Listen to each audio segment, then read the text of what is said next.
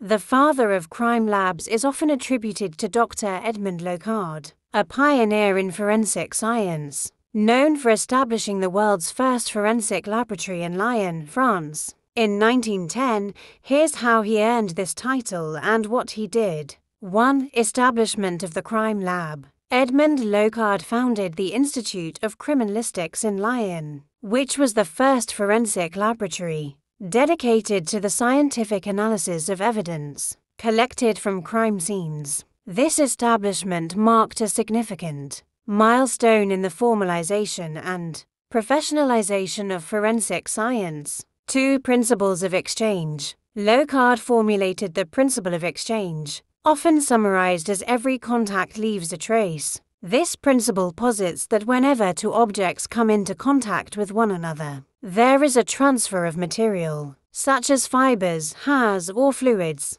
This forms the basis for trace evidence analysis in forensic investigations. Three others include methods and techniques, training and education, as well as contributions to forensic science. Edmond Locard's contributions not only pioneered the concept of a dedicated forensic laboratory but also established the scientific principles and methodologies that continue to underpin forensic investigations worldwide. His work solidified the role of forensic science in criminal justice and significantly influenced the development and expansion of forensic laboratories and techniques over the decades that followed.